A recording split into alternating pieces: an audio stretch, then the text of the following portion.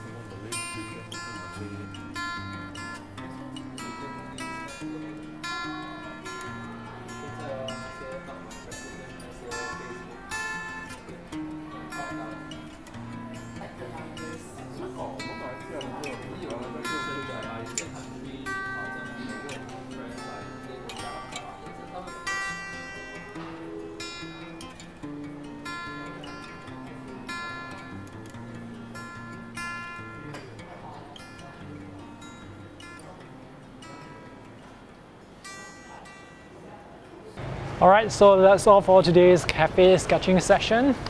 See you guys in the next video. Bye!